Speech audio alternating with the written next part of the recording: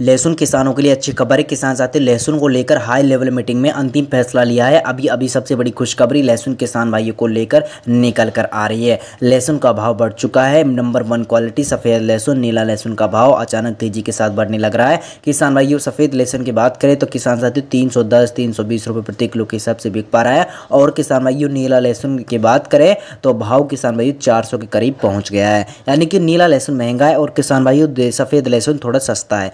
लेकिन किसान भाई, भाव तो अच्छा है। 300 के पार सभी लहसुन का भाव है और किसान साथियों, थोड़े दिन बाद 400 के पार भी जाएगा तो हमारे किसान भाई को अच्छा दोगुना मुनाफा होगा, डबल मुनाफा होगा। हमारे सभी किसान भाई जो लहसुन की फ़सल को लगाते हैं, तैयार करते हैं, मेहनत लगती है, खर्चा आता है, लेकिन किसान भाई जो पिछले सीज़न में भाव नहीं मिल पाया था, वो अब की सीज़न में मिल रहा है और हमारे सभी किसान भाई को शुरुआती सीज़न से अच्छा भाव मिल रहा है और किसान भाइयों, नया लहसुन अब आने वाला है और लहसुन का भाव, यानी कि अब और ऊंचाइयों की ओर चलेगा। जिससे हमारे सभी किसान भाइयों को अच्छा दोगुना तिगुना दाम मिलेगा। हमारे सभी किसान भाई को मेहनत एक बार फिर से रंग लेकर आएगी। किसान साथियों, अगर आपको हमारी वीडियो पसंद आए तो एक लाइक ज़रूर से ज़रूर करेगा। और किसान साथियों, आपको बता दें, प्याज का भाव के साथ साथ लहसुन का भाव बढ़ चुका है सिरसों का भाव भी बढ़ चुका है और किसान में गेहूँ का भाव भी तेज़ी देखने को मिल पा रही है। थोड़े दिन बाद और तेज़ी देखने को मिल सकती है, जिससे हमारे सभी किसान भाइयों को अच्छी खबर मानी जा रही है। सबसे बड़ी खुशखबरी हमारे लहसुन किसान भाइयों के साथ है। वीडियो में बस इतने मिलते हैं अगले वीडियो के साथ। तब तक के लिए जय जवान, जय किसान।